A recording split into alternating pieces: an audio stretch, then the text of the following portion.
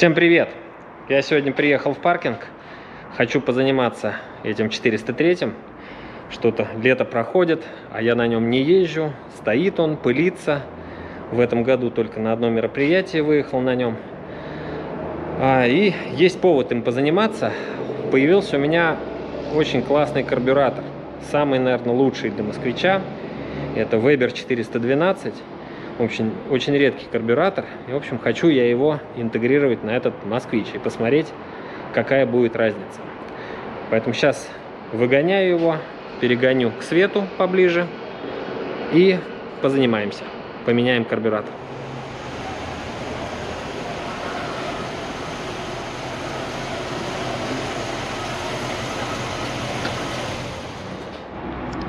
Вот такой вот карбюратор Выглядит он как копеечный или троечный Жигулевские. Внешне очень похож, но жиклеры и каналы у него другие. Вот видите, написано 412, в конце 10.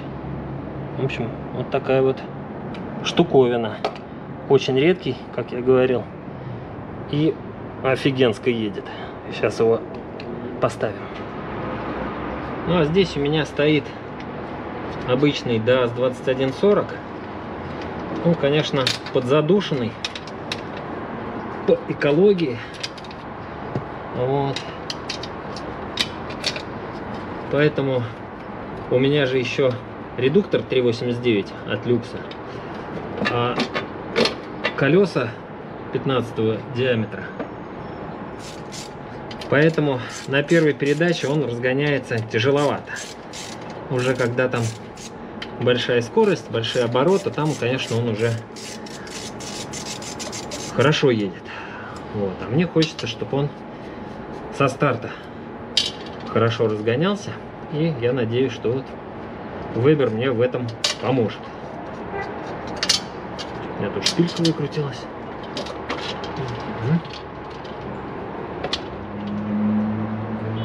Вот видите, какой он даже чумазый. Я его не снимал очень давно. Вообще, честно говоря, этот карбюратор в целом неплохой. Ни разу он меня не подвел.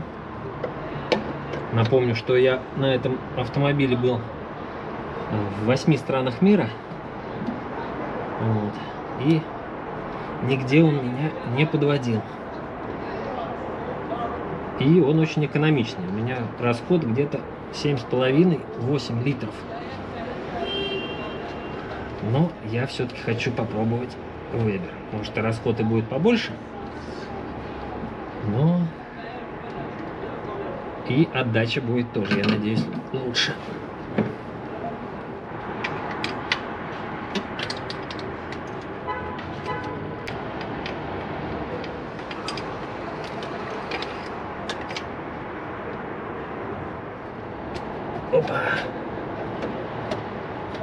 Так.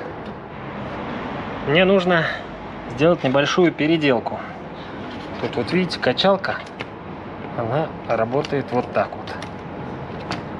А в 403 она качает в другую сторону. То есть вот эту штуку, видите, ее нужно перевернуть. То есть, в принципе, качает в ту же сторону, только тяга устроена так, что а, сейчас увидите, она там наоборот стоит у меня.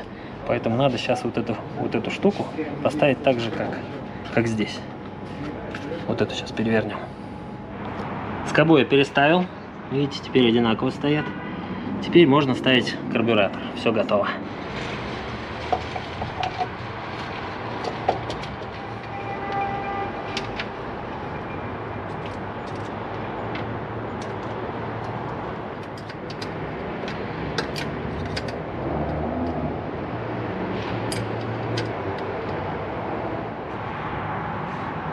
Вот видите, вот эта качалка, она работает, вот если тут родной карбюратор стоит, э, там, допустим, К-59, то он вращается вот так вот, открывается. А этот, где он там, он, а этот в другую сторону. Поэтому я эту качалку вот так переворачиваю и сюда вот сейчас поставлю. Вот за счет того, что я ее перевернул, вот он так будет у меня работать. Так, что у нас осталось? Подсос, трубка опережения зажигания и подача топлива. Все. Все, я все подсоединил. Воздушный фильтр пока ставить не будем. Заведем так, послушаем, как будет работать. А еще хотел сказать, у этого карбюратора предусмотрен обогрев. Вот эти трубки, это охлаждающая жидкость сюда подходит, отсюда выходит, и тем самым он э, прогревается быстрее. Но это нужно в холодное время суток, года точнее. Вот. А так как я на нем летом езжу, поэтому мне, мне это не нужно, и я не буду это, наверное, подсоединять. Вот. Ну, все, накачиваем бензин и пробуем заводить.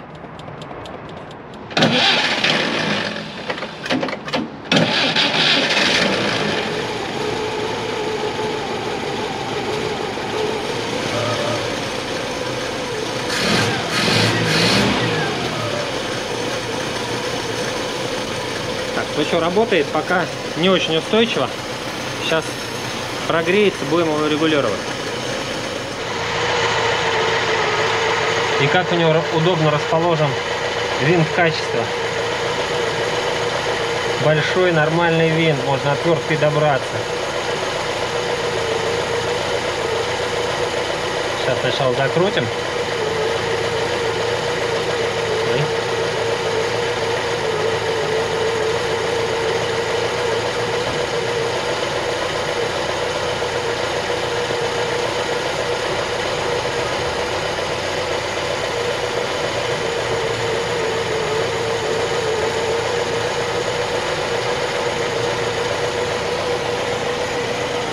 Ну вот вроде так. Ну вот мотор прогрелся до рабочей температуры и очень даже хорошо работает. Маленькие обороты держит. Супер. Сейчас накрываем воздушным фильтром. Сейчас после того, как воздушный фильтр оденем, может еще понадобится регулировки. А может и не понадобится. Все-таки надо еще его подрегулировать.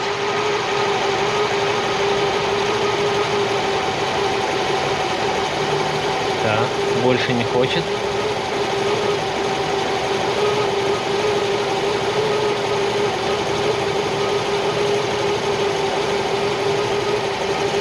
Ну вот, наверное, как-то так.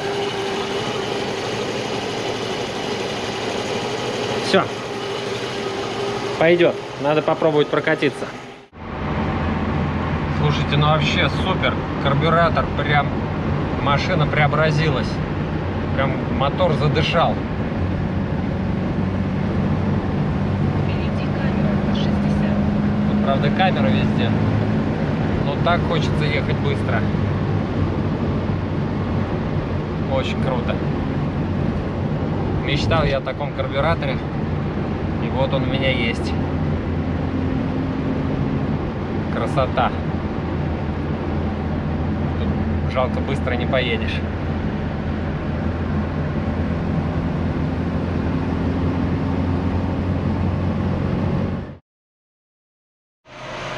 У меня прошло пару дней.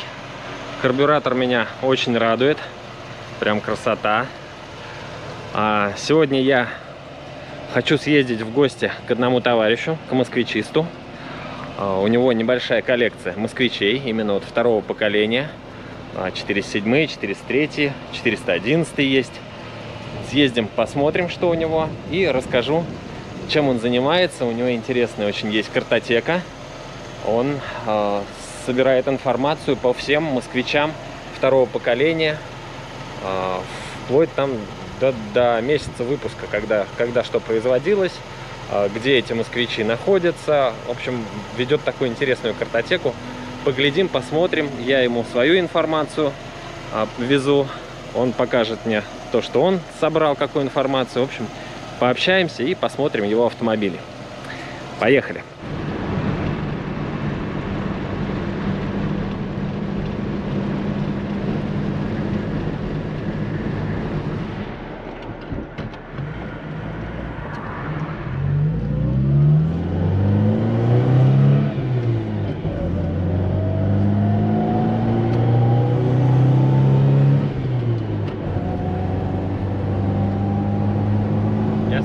остановился, чтобы показать, какое у него ускорение.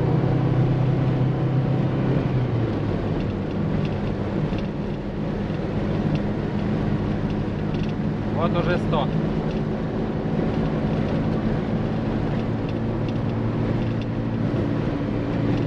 Теперь он летает вообще как ракета.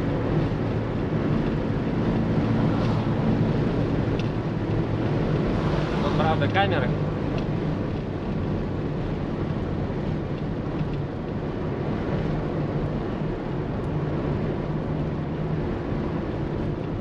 Но такой кайф теперь на нем ехать. Еще больший, чем был раньше. Еще мотор помощнее. Там какой-нибудь 1.7.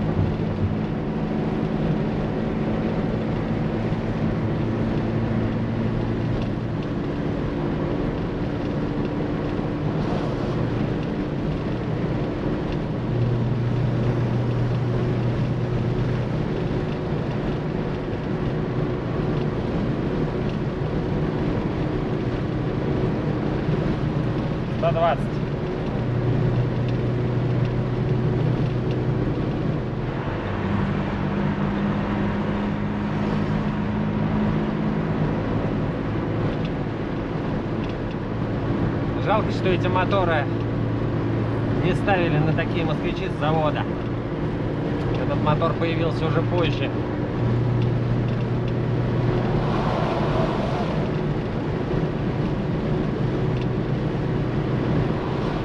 Просто ракета.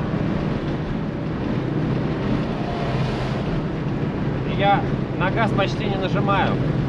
Чуть прикасаюсь.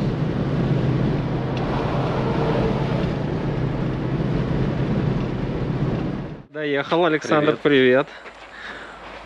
Вот, смотрите, сколько москвичей. Клондайк целый. Такие хорошенькие. Да, Рас- расскажи нам. есть хорошенькие. Ну, с чего начать? Это Ну вот с этого давай начнем. в Оренбурге купили. Москвич 403 в хорошем состоянии. В родной краске. Приводим в порядок. Подвеску пускай строили. Красили. Мотор. Перебираем. Прокладочки все меняем, чтобы все красиво было. Этот москвич купили в Белгороде. Тоже в родной краске 407-61 года. Мгм. С родным салоном. Тут у нас еще комментатор маленький. Сейчас нам расскажет про москвичи. Тут москвич соседа моего хорошего Да, я его тоже хорошо знаю. Павла.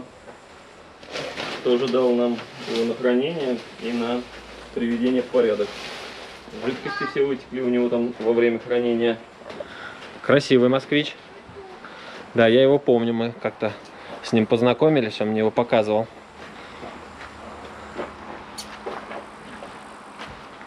Здорово. Попросил привести в порядок. Тут у меня копеечка моя. Немножко не по теме, но Ну да, копеечка у нас не по теме. первые свои шаги. Мгм. Первый твой автомобиль? У папы была точно такая же. И Мгм. я потом себе такую купил, восстановил, сделал все прям. Сейчас мы тут еще покажем внутри. У него родной салон. Автомобиль э, снаружи покрашен, а салон у него весь родной. Под капотом тоже все родное. В общем, так, в цвет все сделано. Очень, очень достойный автомобиль. Есть тут вот бачок омывателя. Это, видимо, еще дедушкин колхоз. Вот, а так Ну, все. приведем в порядок все. Хомутики вон родные, все. Бачки лишние уберем. Мгм. Ну, это вот все проблема долгих стоянок. Когда автомобиль долго стоит, потом все это надо будет менять. Резинки. В общем, чем сейчас Саша и будет заниматься. Вот молодой москвичист. С буксами аж. Залежь запчастей, заготовленные для будущих реставраций. Радиаторы, Радиаторы тут, да тут много чего. рули. Стекла, вон стекляшечки. Вот такие вот всякие редкие штуки. Да, R35A и 410 Да, есть такие тоже имеются. Дверей тут закуплено тоже немеренное количество. Будем все кузова устанавливать, реставрировать, я надеюсь, в скором времени, когда построим мастерскую. Здесь стоят Хром. москвички в хорошем состоянии, тоже готовые к реставрации. Родные кузова, ничего не варено, что-то где-то уже зачищено, пескоструйно, загрунтовано. О. Заметил я 410 коробку туда вставляли, да? Ну, Управляющую могу сказать, крышку. Купили мы этот кузов в э, городе Дзержинск на металлоприемке. Мгм. В отличном он состоянии был. Ну да, так, очень хороший кузов. Ребята у меня его щеточкой по металлу зачищали. Мгм. Пер- Первый опыт был очистки. 402 москвич тоже кто-то до нас начинал делать, но сил не хватило. Мгм. Купили в Москве, в гаражном комплексе. Он весь тоже от пескоструем, загрунтован, вроде бы даже все тут родное. Ну что-то там на задней панели какие-то переварены кусочки, еще что-то, но так кузов, Ну, для По-моему, 402 вообще отлично. по-моему, весь родной кузов, да. 407 тоже на детали, видимо, пойдет. Что Мгм. документов от него нету. Мгм. Некоторые москвичи, приобретенные на донорах идут. Запчасти с них снимаются там. А остальное отправляется в металл, потому что совсем русский москвич. Ну да. Вот как раз 407 яркий пример можно сравнить, как а, чем отличается 407 от 403. Вот видите, моторный щит какой здесь. И, Это вот последнее приобретение. и вот. Соседней деревни Видите, здесь. разница какая. У товарища трехтысячный москвич, один из ранних 403 Мгм. А, ты мне присылал его фотки. Да. Да, но он, конечно, в плачевном состоянии тут. Ну, были кое-какие хромики, там уголки, молдинги. Был вообще в, в идеальном состоянии была приборка, несмотря на то, что он стоял на бетонном постаменте, там почти 15 лет, надо вот без, с открытыми окнами. э, Пластик на торпеде сохранился еще в идеале просто. Ну, вот я, кстати, заметил, что пластик сохраняется в, в сырости почему-то очень хорошо. В сырых гаражах. Машина сгнивает, а пластик в идеале. Да, у тебя земли много. Да. Планируем строить Музей? автосервис сначала, который, который 411 его встречали, наверное, многие в Инстаграме. Он в городе Бугуруслан жил в поле в деревне. Да, я помню, такие фотки были очень. Да, атмосферные. в деревне, у дедушки сгорел дом, дедушки тоже не стало, и внук вот избавился от машины. Мы его забрали, но не, не донор кузова, не донор ни- ничего. Там мост, по-моему, задний, и родной, и что-то еще есть, ну так. И он, судя по всему, был перевертышем, завалился вот на этот, на этот бок. Да, тут все крыша мятая. Ну что-то, что-то, возможно, пойдет дело с него. 432, 430 Москвич. По 30 документам 407, да, почему-то.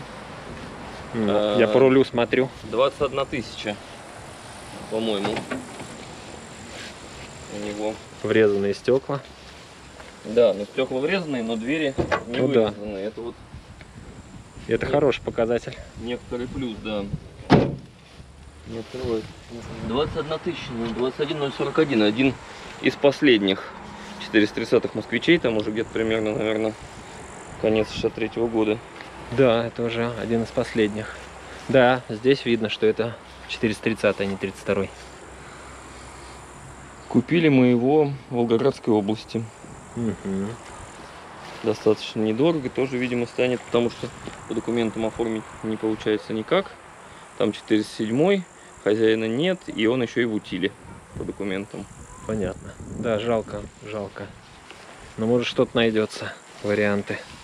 410 Мгм. из Рязанской области, из Рязани точнее даже. Стоял там очень долго, заросший А это не тот, который стоял во дворе? Плющом вот так заросший, обросший, да, вот Я тоже да. видел фотки его. ага. во ВКонтакте где-то там его выкладывали, мы его нашли, поехали, купили, договорились тоже документы оформлять там с хозяином, но руки пока не дошли до документов. 423 знакомый у меня купил в Ярославле, потом его А выглядит как 11 такой высокий. продал мне, да, но он на, на колесах от трафика, поэтому, наверное, так выглядит. 59 год, Мгм. 23 москвич, 23N точнее. Ну, вот тоже он гнилой, не знаю, наверное, пойдет на донора. Тут тоже непонятно донора чего. Так, а это 32-й. 432, да. Мгм. Из Дагестана привезли автомобиль Ничего себе. Он еще и в Дербенте. Ну, похоже, да, на то. Да, ну, конечно, варварски врезаны задние двери, как всегда. Да, очень обидно. Одна дверь. А, с той стороны лучше, да? С Ситуация той щас? стороны все целое, да. Сейчас посмотрим. Но 432 ИЭ это очень круто. Это большая редкость. Такой автомобиль а, в наших краях найти невозможно. В основном все в Фин- Финляндию уезжали. Сейчас посмотрим под капотом. Вот смотрите, такое вы вряд ли когда-то видели. Давай. Английская табличка от 432 ИЭ. Ну, собственно, от него. Это очень круто. А, Напомню, 432 москвичей было выпущено а, около 15 тысяч штук, а, а экспортных-то и того меньше. Поэтому очень редкая штуковина. 411 купили в Тульской, в в Тверской области. Товарищ его приобрел в Кемерово.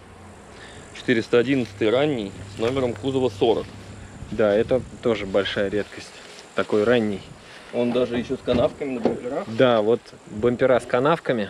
Хотя я вам когда-то говорил о том, что э, таких бамперов быть не должно на 411. Но вот видите, на самых ранних машинах все-таки они были. Вот подтверждение тому. Этот автомобиль, значит, октября 58 года. Сейчас Саша его вскроет. Тоже он где-то был на драйве, встречался. Товарищ там с хозяином договорился, вытащили все документы, там какие-то учетные карточки внесли в базы. И он его купил. Ну, его как бы не хватило на реставрацию, его просто вот покрасили валиком. Да. Передний мост он тоже не смог подключить, он его сделал на заднем приводе. Чуть-чуть на нем покатался и решил, что это не его тема. Восьмой мотор, я смотрю, тут свежий стоит Выставил на достаточно. продажу его, да.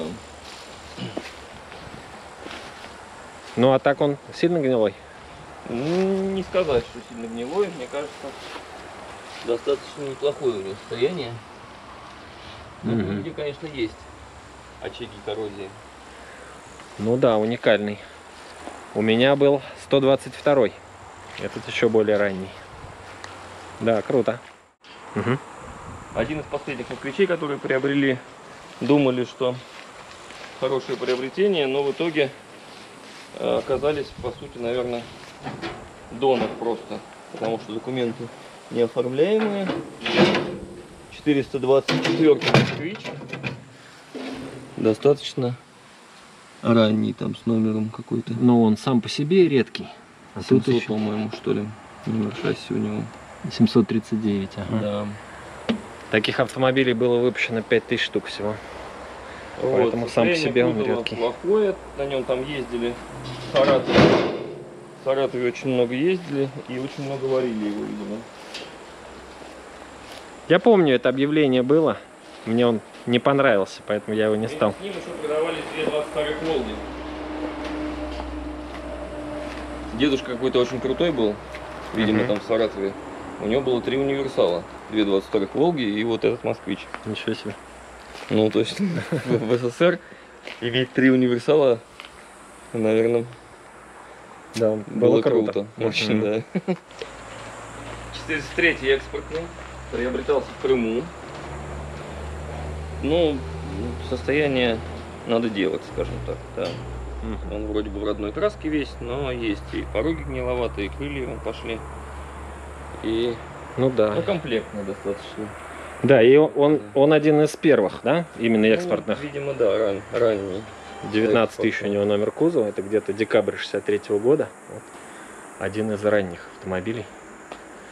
Да, и вот тут рядышком стоит еще на базе такого 403-го универсал 424 купленный в Ульяновске. Ну слушай, это неплохой такой, я смотрю. Это неплохой, да, универсал. Товарищ что-то очень долго за него очень дорого хотел, Мгм. но потом один прекрасный день сказал, что я готов его отдать по цене металла, забирайте. Ага.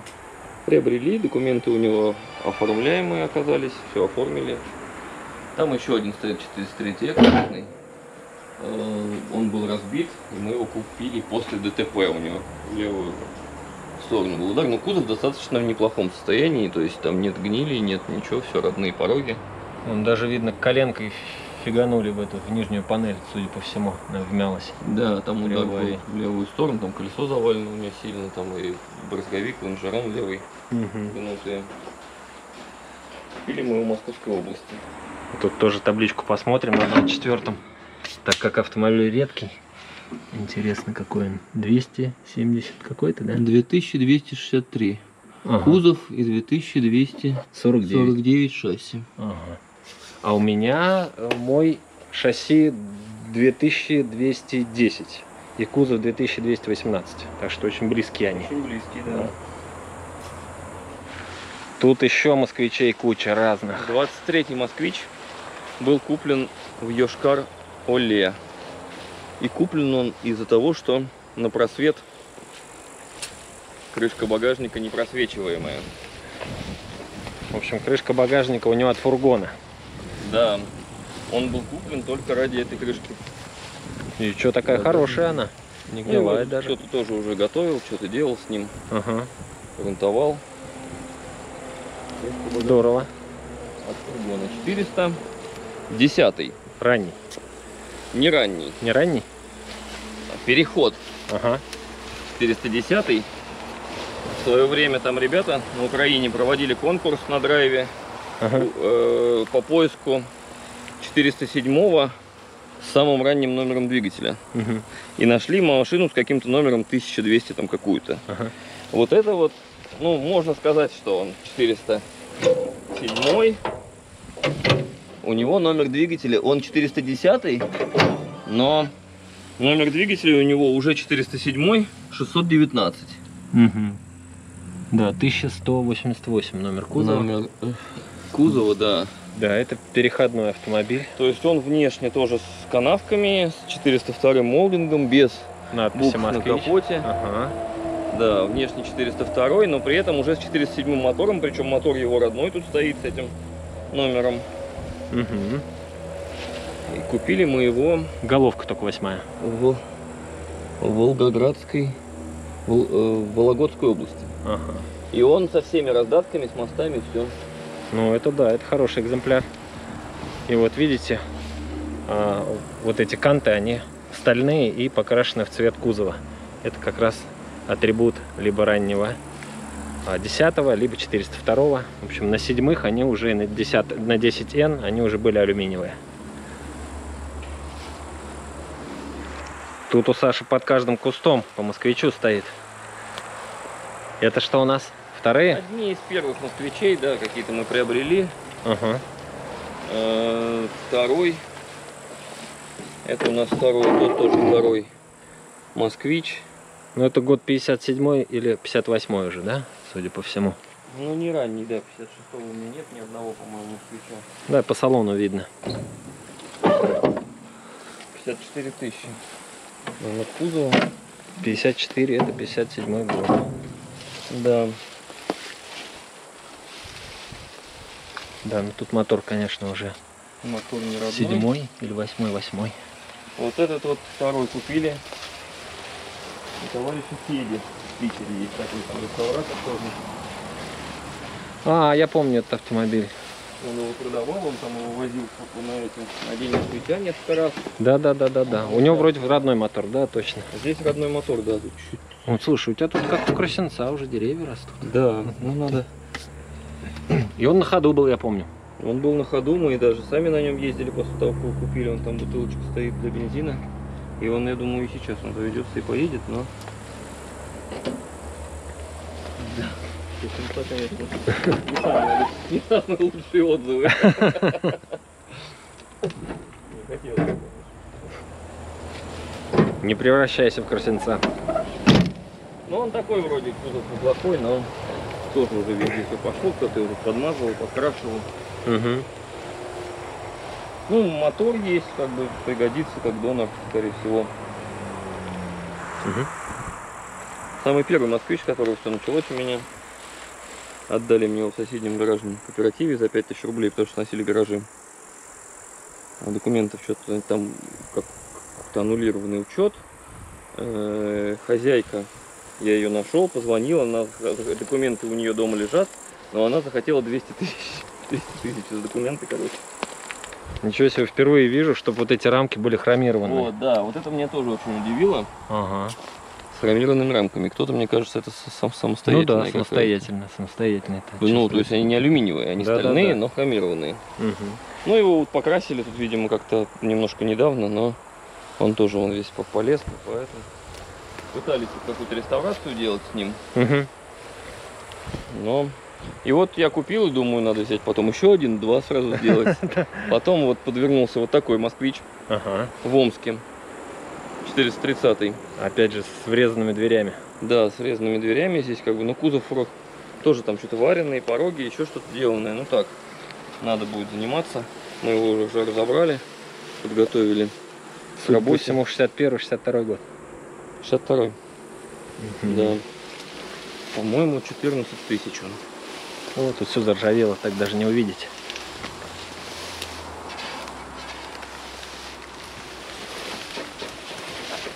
Да, кстати, надо здесь будет все это отсюда снять, убрать. Да.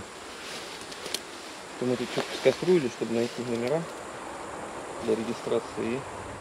Комплектный экспонат тоже приехал из Иркутска. Относительно недорого был куплен со всеми мостами. Жирный москвич. Со всеми мостами, раздатками, все родное. М. Но документов тоже нету. Ой, пороги-то какие страшные. Но состояние у него, кстати, вообще неплохое. Мгм. То есть даже тут под капотом ни, ни- ни пороги не гнилые, ни лонжероны. И, судя по всему, родной мотор, но головка 408 уже. Ну тут все, там все подвески, карданы, Ой, всё- какое всё- дырище всё сделали. Ужас. Видимо, радиатор, наверное, какой-то приделывали. Наверное, да.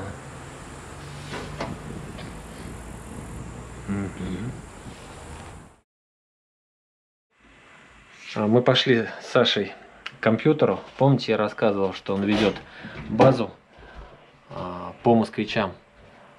А, Номер кузова, номер шасси, двигателя, год выпуска, когда они выпускались. Вот есть фотографии, таблички, либо документов. Около тысячи записей на данный момент. 905. В базе есть вот фотографии, подтверждающие каждую запись. Таблички или техпаспорты или что-то еще. У кого есть, можете присылать. Очень особенно актуально всякие 410 и 423, потому что у них сквозная нумерация двигателей с седанами. И привязав их к таблице, как можно большее количество, э, ста- становится понятно на на примере седана, какие должны быть изменения. Там решетка, фонари, бампера, всякие лампочки, давление масла и так далее. И также интересно, что по номеру двигателя можно понять, например, там э, шли 407 москвичи, а потом раз партия 423 москвичей вышла в это время. Потом опять идут там 407, потом партия 30-х москвичей. В общем, так вот очень интересно это все анализировать. В общем, вот такая вот таблица, такой титанический труд был проделан. Видны, виден переход, когда начинается с 402 на 407. Да, они шли в одной нумерации, поэтому да, там переход отследить можно. Да, то есть вот примерно мы сегодня сидели тут, смотрели. И что я куда-то не туда пролистал.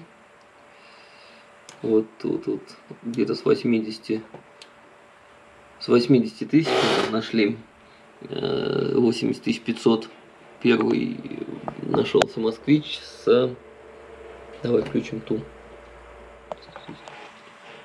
С 80 тысяч 380 вот первый обнаруженный э, с 407 двигателем уже номер 392 и вот они шли параллельно, и назывался он при этом 402, вот в базе там ГИБДД обнаружена была запись.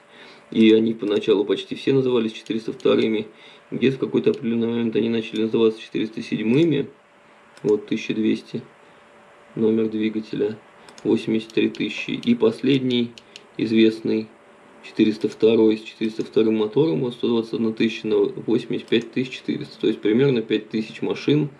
Э, вот это май 58 -го года, они шли параллельно, с, претерпевая некоторые изменения в кузове, в двигателе там и внешне. Да, то есть то седьмые моторы ставили, то опять вторые, в общем, такая вот была а, небольшая неразбериха, и потом уже ну, пошел общем, только седьмой мотор.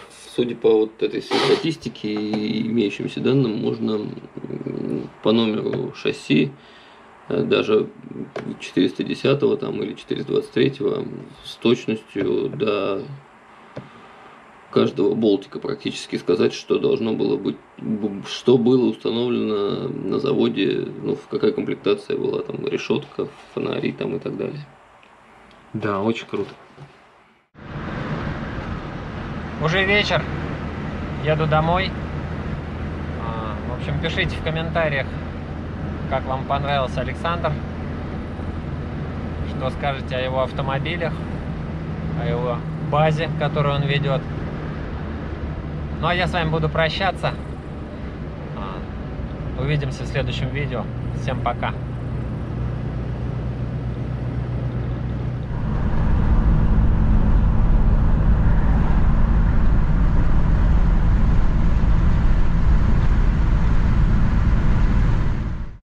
И зря тебя назвали москвичом.